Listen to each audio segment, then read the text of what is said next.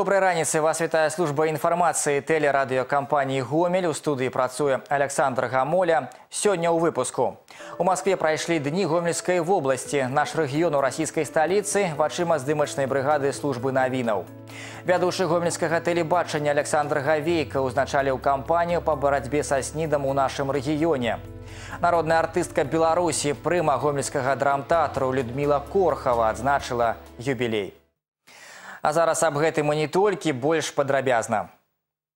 Развіццё міжрэгіянальных сувязяў ва ўсіх сферах менавіта так можна сфармуляваць галоўную мэту праведзеных дзён гомельскай вобласці ў Маскве. Што прапанавалі расіянам прадстаўнікі нашага рэгіёна і наколькі паспяховымі можна лічыць праведзеныя перамовы, ведае Олег Сенцюроў. Три паверхі дзелавога і культурнага комплексу пасольства Рэспублікі Беларусь у Расійскай Федэрацыі і літарадна ні аднаго свабоднага метра Гомельскую вобласць у Маскве на гэты раз вырашылі прадставіць максімальна поўна ад культурных асаблівасцяў да эканамічных магчымасцяў. Урэшце галоўная задача знайсці новых партнёраў ва ўсіх сферах. Развіццё міжрэгіянальных сувязяў для гомельшчыны заўсёды было прыярытэтным накірункам. Дні Гомельскай вобласці ў Маскве рэальна магчымасць іх пашырэння. Если даже посмотреть сегодня всем известный Гумсельмаш, то мы сегодня видим, что там только для производства этого комбайна тысяча поставщиков. И если посмотреть глубже, то 60% комплектующих этого комбайна – это Российская Федерация. Поэтому говорит о многом, что э, дает возможность сегодня развиваться нашим регионам. И мы сегодня стремимся делать все возможное для того, чтобы эти связи укреплялись, для того, чтобы экономический потенциал совершенствовался. Для проведения перамоў арганізатары дзён гомельскай вобласці ў Маскве адвялі некалькі памяшканняў, але часта сустрэчы праходзілі непасрэдна каля стэндаў. Гомельскі тэхнапарк со сваімі маскоўскімі партнёрамі супрацоўнічае з 2008 года, але цяпер гэтыя адносіны павінны выйсці на прынцыпова новы ўзровень. Имеем четкую отраслевую специализацию, какие компании мы поддерживаем. И, кстати, компании в сфере информационных технологий подходят под эту стратегию. Поэтому гомельские компании, которые в Гомельском технопарке именно в сфере информационных технологий, мы рассчитываем на то, что будем давать им возможность работать на российском рынке, а, соответственно, российские компании смогут пользоваться также услугами Гомельского технопарка Сярод прапануемых для сумеснай рэалізацыі інвестпраектаў будаўніцтва шчэбнявага заводу, арганізацыя вытворчасці тарфяных сумесяў для земляробства і кармавых дабавак для жывёлагадоўлі, стварэнне прадпрыемства па перапрацоўцы лясных грыбоў і ягад на базе аднаго з кансервовых заводаў. Сёння гэтыя дары прыроды для нас не больш, чым звычайная сыравіна, але пры гаспадарскім падыходзе яна можа прыносіць куды больш значныя прыбыткі. Приезжая в Европу, в ту же Италию, мы видим белые грибы, которые э, Э, по цене там 5-7 евро, баночка там 50-70 грамм стоит.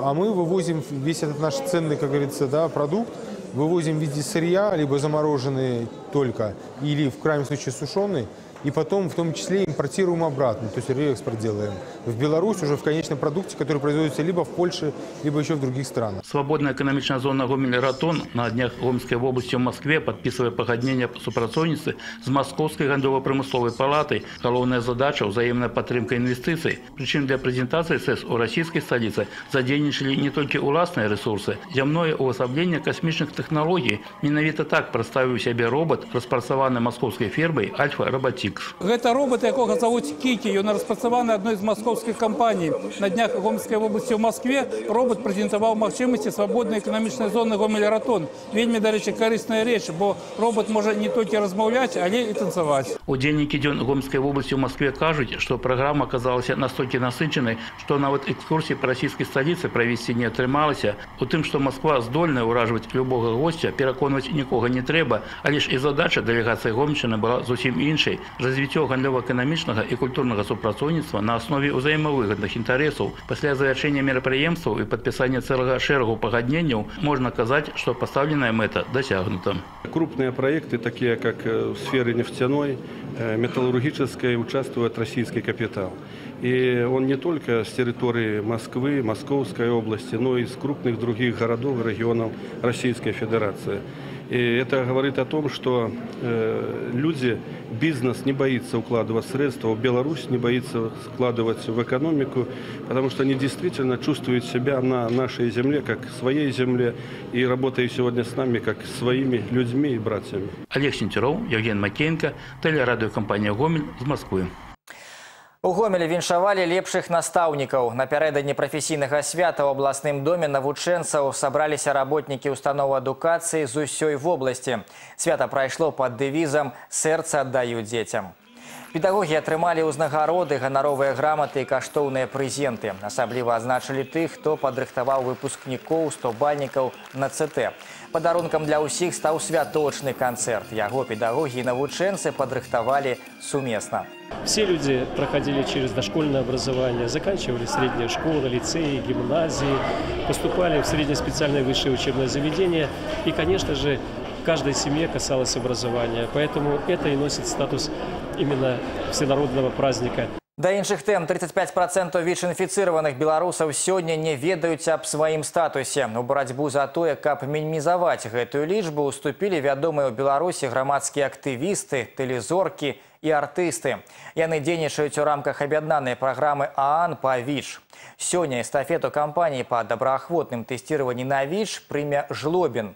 У Гомелі на такой акцыі пабывала наш карэспандэнт Ганна Кавалёва.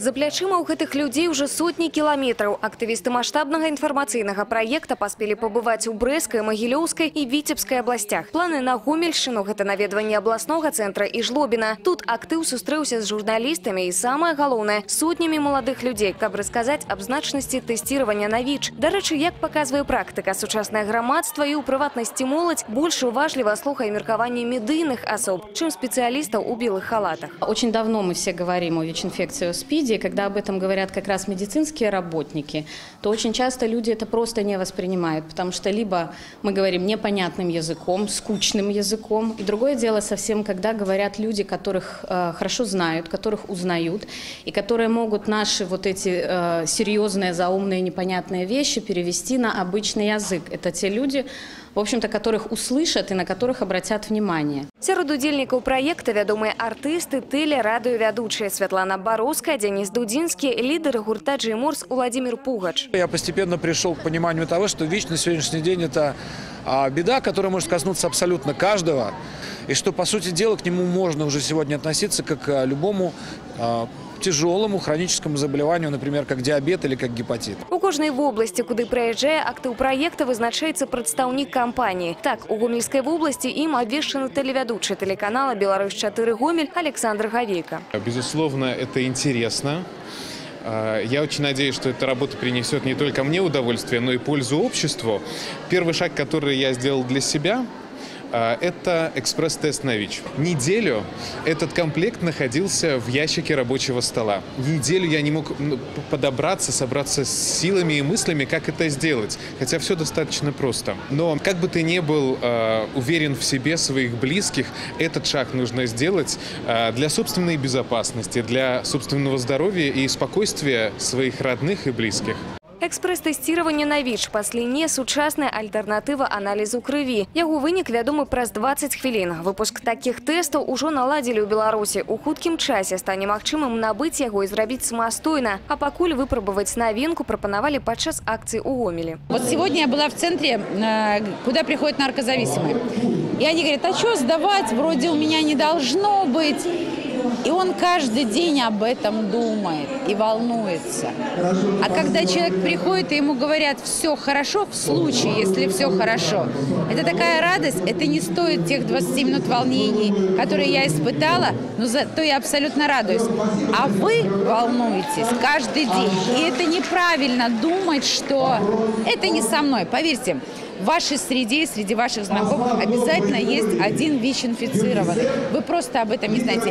Или хуже всего, об этом не знает он сам. Донести до людей разумение гэтага и галоўнае натхніць на тэсціраванне мэта, да якой усе гэтыя людзі і імкнуцца. Сёлета яны таксама наведаюць Гродна, Пінск і Маладзечна. Рэалізацыя праекта працягнецца і ў наступным годзе. І па прагнозах, магчыма, ўжо праз тры гады Беларусь атрымае шанс стаць адной з нямногіх краін свету, дзе свой статус ВИЧ ведаюць 90% насельніцтва. Ганна Ковалева, Сергей Лукашук, телерадиокомпания «Гомель».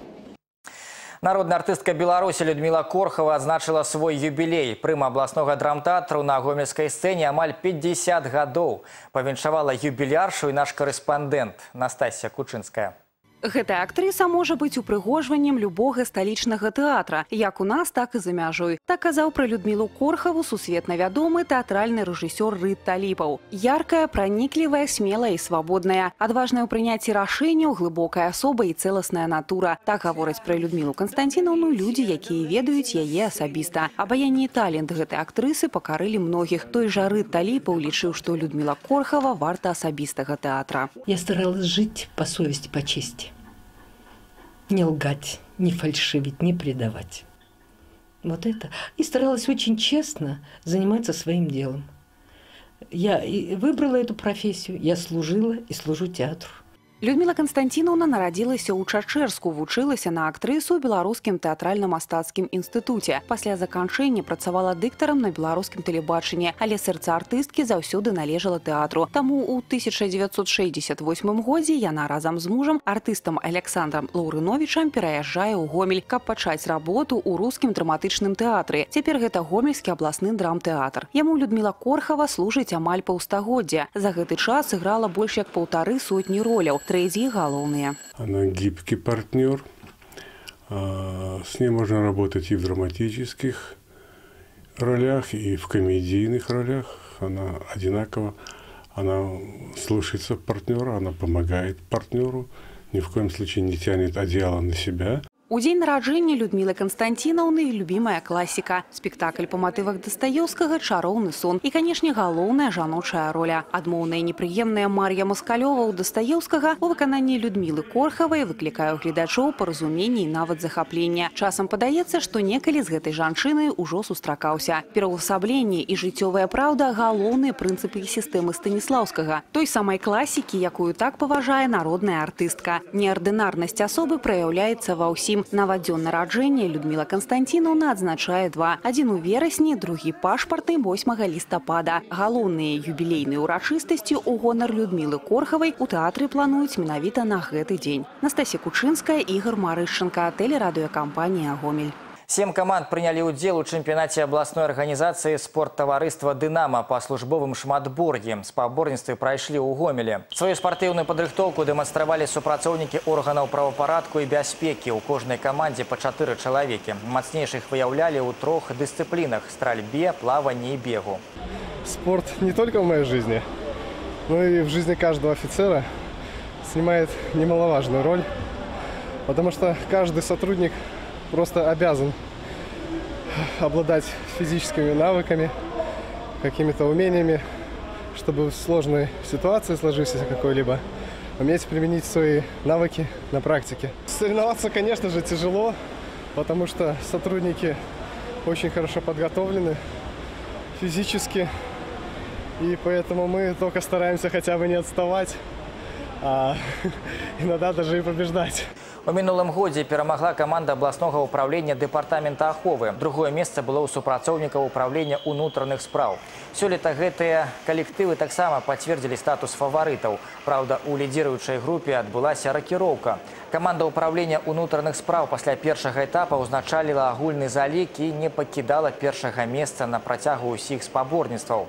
Дэпартамент аховы размясціўся на другім радку. За трэцяе месца вялася напружаная барацьба. Пасля стральбы і плавання каманда вайсковай часці 1242 на некалькі балаў апярэджвала спартсменаў управлення следчага камітэта. Усё вырашыў забег на паўтары тысячы метраў. У супрацоўнікаў следчага камітэта атрымалася апярэдзіць пагранічнікаў і ўзайсці на педэстал гонару. Гэтыя іншыя навіны вы можете знайсці на нашым сайце ў інтэрнэце па адрасе www.цівергомел.by. На гэтым выпуск завершаны. У студыі працаваў Александр Хамоля. Добрых вам навінаў і да сустрэчы ў эфіры.